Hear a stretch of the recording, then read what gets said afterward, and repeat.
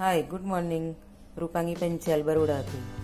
તો આજે આપણે ચણાની દાળના ઢોકળા બનાવીશું. કાચા. તો જોઈ શકો છો તમે, આ મેં સવારની ચણાની દાળ પલાળી દીધેલી. તો હવે એને હું ક્રોસ કરી દઈશ. એમાં આપણે થોડાક પૌવા લઈ લીધા છે. થોડાક પલાળી દીધા પૌવા અને કોરા કરી દીધા છે. થોડા સોફ્ટ થઈ જાય. પછી આપણે એને સાથે જ મિક્સરમાં પીલી કાઢીશું. તો તમે જોઈ શકો છો, ચણાની દાળ અને પૌવા સરસ મિક્સ થઈ ગયા છે. તો હવે આપણે થોડાક મરચાં, આદું અને લસણ લઈ લીધું છે.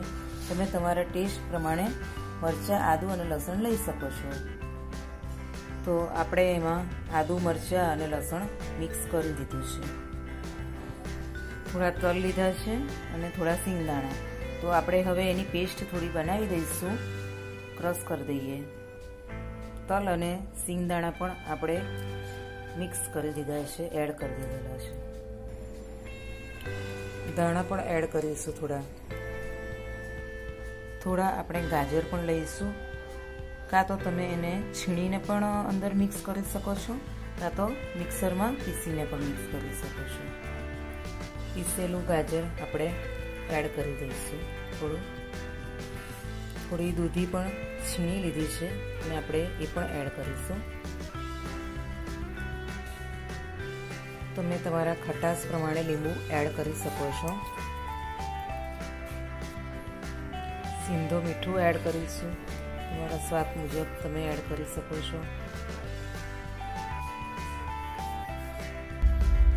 થોડો ગોળ એડ કરીશું. ખાંડ આપણે એમાં નથી નાખતા. ગોળ કાં તો સાકરનો ઉપયોગ કરીશું. હળદર એડ કરીશું થોડી. ગરમ મસાલો એડ કરી શકો છો. તો તમે જોઈ શકો છો, આપણો બધો મસાલો એડ થઈ ચૂક્યો છે. તો આપણે હવે એને મિક્સરને મિક્સ કરી દઈશું. સારી રીતે તો બધો મસાલો એડ થઈ જાય. સરસ રીતે.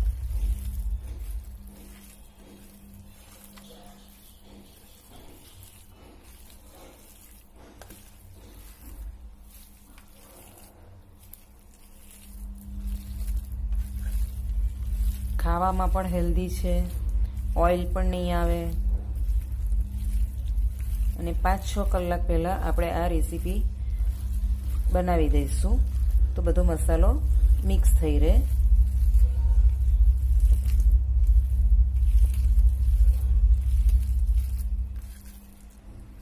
ઓઇલ વગરનું જમવાનું ખૂબ ટેસ્ટી લાગે છે. એટલે કહું છું કે તમે પણ બનાવીને ઘરે ટેસ્ટ કરો.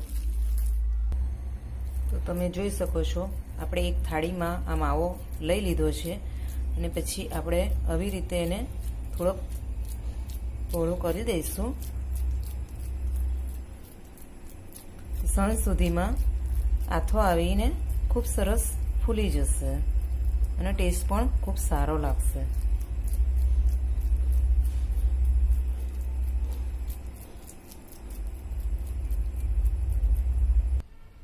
જુઓ સરસ રીતે કરી દીધેલું છે, તો આપણે એમાં થોડાક તલ ઉપરથી એડ કરીશું.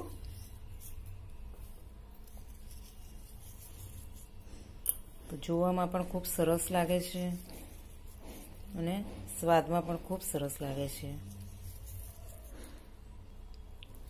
ધાણા એડ કરીશું.